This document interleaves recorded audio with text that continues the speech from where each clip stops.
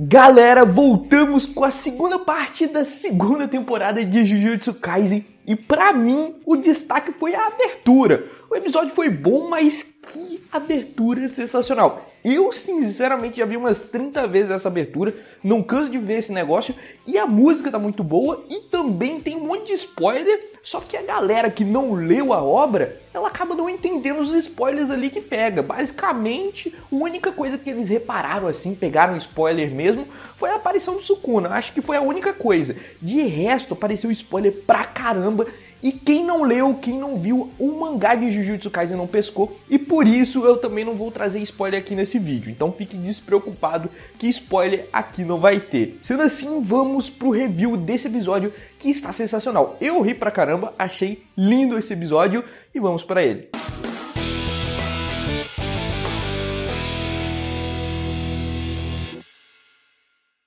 O anime começa com uma espécie de slice of life do Itadori, Nobara e Megumi, coisa que eu simplesmente acho muito boa. A interação entre eles é perfeita. Eu adoro a interação entre eles. E em certo momento desse episódio, o Itadori estava ali reunido com a Nobara e ele com aquele gosto horrível para filme estava tentando convencer a Nobara a ir assistir aquele filme estranho dele. E uma garota que conheceu o Itadori há muito tempo atrás viu que o Itadori estava com a Nobara e ela é apaixonada pelo Itadori.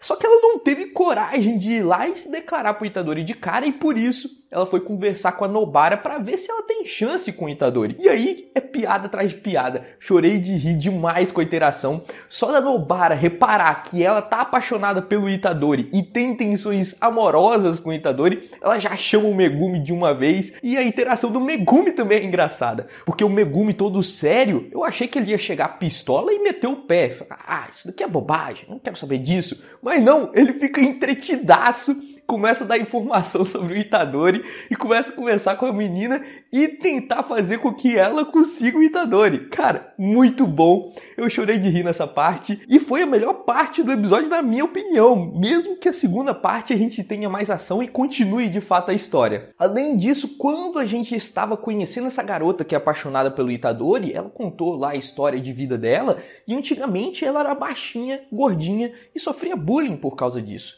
Então ela odiava todos os meninos, menos o Itadori, porque ela reparou que o Itadori prestou atenção em coisas que ela nem mesmo sabia sobre ela. O Itadori gostava dessa menina porque ela escrevia bem, comia lá de forma linda e tal, e ela acabou se apaixonando pelo Itadori desde aquela época. Só que a Nobara reparou, vendo as fotos da menina, que ela é basicamente uma referência de Yu Yu Hakusho. Para quem não sabe, a Kuroko Sato, que até mesmo a Nobara cita, é um personagem de Yu Yu Hakusho, e a história dela é exatamente a mesma dessa garota aí que gosta do Itadori. Ela era gordinha, igualzinha a menina aí de Jujutsu Kaisen e ficou bonita, magra, alta quando ficou mais velha. Então o GG Akutan pegou essa história de Yu Hakusho e botou em Jujutsu Kaisen. Enfim, depois que o Megumi chega, ele conta aquilo que a gente já sabe porque o Aoi todo perguntou pro Itadori qual era o tipo de mulher do Itadori. E ele tinha dito que gosta de mulheres altas e com bundões. Ela parece que não tem um bundão, essa menina aí, mas pelo menos é alta. E foi isso que o Megumi lembrou.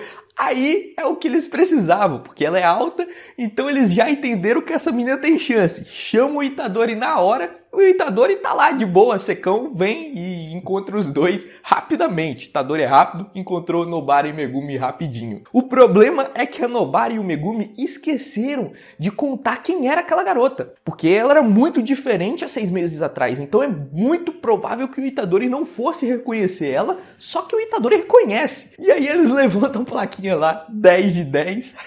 Muito bom. O Itadori, sem saber, acertou, reconheceu a menina conquistou ainda mais, porque eu acho que nem a mãe dela reconheceria ela depois desses seis meses aí. Depois disso, a gente acabou não vendo o desenrolar entre os dois. Mas parece que eles conversaram ali e o Itadori não deu bola, simplesmente tratou ela como uma antiga amiga sem demonstrar nenhum interesse amoroso e nem mesmo pegou o telefone da menina. Então ela ficou bem decepcionada ali naquele momento. A Nobara tá com o número dela, então dos males o menor, mas parece que foi tudo por água abaixo. A menina parece que não tem chance nenhuma com o Itadori. E dá para entender, né? O Itadori tá com Sukuna dentro dele e ele pensa que vai morrer em pouco tempo no momento em que comeu os 20 dedos. Então, provavelmente, o Itadori nem tá mais pensando em namorar esse tipo de coisa, porque ele tá num lugar muito perigoso com uma profissão muito perigosa. Então, eu até entendo o Itadori. Além disso, também tem outra parte que também foi muito engraçada, do Aoi todo e da Mei Mei indicando o Megumi, Itadori, Nobara Panda e Maki para se tornarem xamãs de grau 1. A gente tem que entender aqui que tudo isso que está acontecendo agora, que apareceu logo no começo aí desse episódio, isso é logo depois do intercâmbio que a gente teve na primeira temporada de Jujutsu Kaisen quando o Itadori conheceu a Oi todo, a Mei Mei viu lá todo mundo em ação e deu para perceber que eles viram eles em ação e principalmente contra uma maldição muito poderosa que foi a Hanami. E todos esses que eles citaram se saíram muito bem. Por isso que o Aoi todo e a Mei Mei estão indicando toda essa galerinha para se transformarem em xamãs de grau 1, o que é praticamente o máximo que uma pessoa normal consegue alcançar. Porque xamã de classe especial, até mesmo o Gaku Ganji deixou claro aqui, é um caso à parte, eles já nascem assim, eles não conquistam essa classe. O xamã de grau 1 não, tem toda uma forma de chegar até lá. Você começa como um xamã de grau 4 ou 3, bem lá embaixo, e os seus superiores vão te indicando para você ir subindo de classe. E tem toda uma burocracia para isso. Burocracia essa que até mesmo o Arroi todo não tinha pescado, ele ficou extremamente decepcionado, porque ele acreditava que ao indicar o Itadori, ele poderia ser escolhido para supervisionar o Itadori. Quem é indicado para xamã de grau 1, eles têm que fazer missões, principalmente uma missão de derrotar uma maldição de classe 1. Então aí você consegue ser um xamã de grau 1. E tudo isso é supervisionado ali por xamãs também mais experientes. Tem várias outras missões também, missões que você faz sozinho.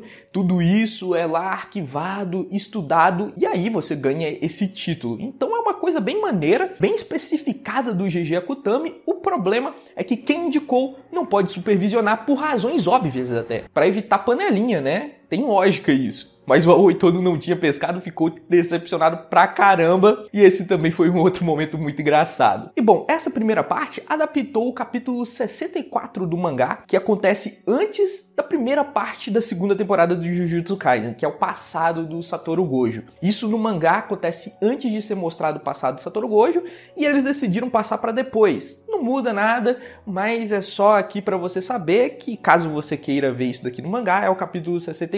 Outra coisa muito interessante também é sobre essa menina que é apaixonada pelo Itadori, a Ozawa. Em uma entrevista do GG Akutami, a galera tava perguntando lá se o Itadori tem lavagem cerebral, porque o Aoi todo começou a imaginar coisas lá, e o GG Akutami disse que isso daí não tem nada a ver, mas as pessoas deveriam estar perguntando sobre a Ozawa. Ele não deu mais informações, mas deu a entender que o passado do Itadori ali tem alguma coisa sombria, alguma coisa meio manipulada e a Ozawa tem parte nisso. Mas ele não desenvolveu essa garota, não apareceu muito mais sobre ela e talvez o GG Akutami tenha mudado de ideia, não sei. Porém é uma curiosidade bacana aí para trazer sobre essa personagem, que ao menos no passado o GG Akutami disse que ela poderia ser importante. Então tá aí, fica de olho nela, porque o GG Akutami disse, vai que ele não tenha mudado de ideia, né? Só esperando para ver. Enfim, a gente continua aqui com Jujutsu Kaisen com uma segunda parte que já adapta o capítulo 79 e 80. E aqui a gente continua a história de fato, justamente depois do arco lá do intercâmbio que aconteceu toda aquela bagunça. Naquele arco, o Satoru Gojo pediu para Utahime e para Meimei também para elas pesquisarem se existe algum espião entre eles, porque ele percebeu que estava espalhando ali muitas informações para aquela galerinha do mal, que a gente sabe que é aquele gueto com aquele negócio na testa, o marrito, toda aquela galerinha, eles estão tendo muitas informações especiais que não era para eles terem. Então o Satoru Gojo está suspeitando que existe um espião entre a galera e pediu para Utahime pesquisar e para Meimei também. A Utahime acabou descobrindo um suspeito, na verdade mais de um. Um dos suspeitos pode fazer parte do alto escalão, então ela não tem como investigar alguém assim tão poderoso, poderoso no sentido político ali mesmo e não questão de poder, de força, nada disso e tem alguém mais baixo que ela está suspeitando ser um de seus alunos. Esse aluno nada mais é do que um Mekamaru. Então ela chama a galerinha lá de Tóquio justamente para não envolver os alunos dela mesmo de Kyoto e vão aonde o Mekamaru está. O Mekamaru ele controla boneco, mas ele fica numa sala em algum lugar. A Utahime sabia onde era essa sala e foi lá ver, investigar e questionar o Mekamaru. Ela não foi nem mesmo lutar contra o Mekamaru assim, levou só o Itadori Nobari Megumi por precaução, mas foi lá investigar o que, que ele estava fazendo. Chegando no local, ela vê que a sala está vazia, então ele já conclui que realmente é ele o impostor, é ele o espião. Se ele teve que mudar de lugar sua sala, é justamente porque ele tem coisa para esconder e de fato era ele sim. Logo em seguida, a gente vê uma reunião do Mekamaru, que na realidade se chama Muta. O Mekamaru é só o boneco que ele controla, o nome dele mesmo é Muta e uma reunião dele com o Marrito e o Gueto. O Muta fez um pacto com o Marrito para que ele curasse o corpo dele, em troca ele dava as informações. Porém, o Marrito não poderia machucar nenhum de seus colegas. Aí teve a invasão da Hanami ele ficou pistola. Ele falou: Não, aí não, pô. Você quase matou muitos dos meus colegas. Então isso daqui acabou. Não quero mais o trato com vocês. E vocês, como eu dei muitas informações, vocês têm que fazer a parte do seu trato, que é curar o meu corpo. O Marito, que viu que o Muta não tinha mais utilidade, já queria matar de uma vez. Mas a gente tem que dar importância aqui aos pactos de Jujutsu Kaisen, que são basicamente acordos. Se você faz um pacto e faz um acordo com aquela pessoa, você não pode descumprir. Senão, como se fosse uma força divina, celestial, assim, da natureza, vai te punir de alguma forma e pode te punir de uma forma grave. Tanto é que o gueto deixa claro isso, que é para ele curar, aí depois você pode matar. Você tem que cumprir o seu acordo e depois de cumprido, aí você realmente pode ir lá fazer o que você quiser. Por isso que o marido teve que primeiro curar o Muta para depois lutar e tentar matar ele. Aí só um adendo aqui, o Gueto também citou um outro tipo de pacto, um pacto que você consegue fazer com você mesmo. Isso, por exemplo, o próprio Nanami mostrou. O Nanami, em sua luta contra o Marito, aquela primeira luta lá atrás, o Nanami fez um pacto onde ele ganhava um aumento de energia amaldiçoada depois de um determinado horário. Se ele quebrasse esse pacto, ele simplesmente não ganhava esse bônus. Isso é um tipo de pacto, por exemplo. Então é esse tipo de pacto que o Gueto citou que você pode fazer com você mesmo. Esses não tem problema ali você quebrar o pacto não, porque o que você perde é basicamente o aumento de poder que você ganhou ao fazer esse pacto. Agora, pacto com outras pessoas aí não. Você tem que cumprir, porque senão você pode até morrer e ainda por cima matar as pessoas que você tem relação. Então, é bem importante você cumprir os pactos. Beleza? Entendido isso daqui, o Muta é curado e agora eles partem para cima, porque o Muta ainda gosta dos seus colegas, ele gosta de todo mundo.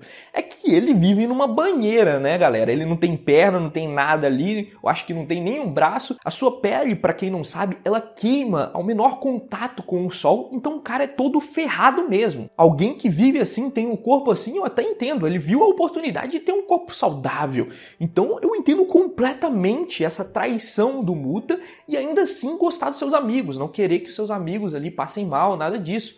Ele só estava querendo um acordo, um acordo muito bom para ele. Tanto é que no primeiro momento o Marito ali destrói várias marionetes do Mekamaru e ele acha que o Mekamaru, o Muta, fugiu, mas na realidade ele estava escondendo uma carta na manga que é um Megazord. O Muta acabou guardando sua energia amaldiçoada por vários anos e conseguiu suprir esse bicho gigante que ele criou. E só o Muta que conseguiria fazer isso porque ele realmente, por ter aquele corpo bizarro que ele tinha, ele acabou ganhando em troca uma habilidade de ter muita energia amaldiçoada, conseguir ali passar e controlar coisas a uma distância enorme. Por causa disso que o Mekamaru conseguiu também criar esse Megazord que agora vai lutar contra o Marito. Porém, a ideia principal do Muta já foi quebrada logo pelo Gueto, tá? Se você não reparou, o Gueto fez um movimento mais importante importante aqui. No momento em que a luta começou, o bicho já desceu uma cortina e essa cortina impede com que o Mekamaru consiga entrar em contato com o Satoru Gojo. Se ele conseguisse ligar para o Satoru Gojo no momento ali que tivesse a oportunidade, aí já era, cara. O Satoru Gojo ia aparecer na hora e ia derrotar todo mundo em um piscar de olhos. Então a chance maior de vitória do Mekamaru ou do Muta é simplesmente de conseguir destruir essa barreira e chamar o Gojo. Chamou o Gojo, é game over. Mas ele precisa primeiro enfrentar o Marito e o Geto, provavelmente, para conseguir fazer isso. E antes que você pergunte aqui, por que, que ele não chamou o Gojo antes disso tudo, que é o que provavelmente todo mundo pensaria? Por causa do pacto também. Ele não poderia quebrar o seu pacto porque ele também sofreria. Então ele também tem que seguir suas regras. Por isso que provavelmente ele não chamou Satoru Gojo antes e sim depois de conseguir cumprir ali com todos os acordos com Marito. No próximo episódio, com certeza a gente vai ver a luta entre esses dois, que com certeza deve ficar muito boa. A expectativa é que seja uma parada bem fluida e muito bem animada mesmo. Então a expectativa tá elevada para essa temporada que tem tudo para ser a melhor de Jujutsu Kaisen. Por isso, para você acompanhar mais review, cara, você tem que se inscrever aqui embaixo, para não perder nenhum vídeo que eu lançar aqui, viu? Beleza? Se inscreva aqui embaixo. Eu vou ficando por aqui, espero que tenha gostado do vídeo e a gente se vê em um próximo conteúdo. Até mais.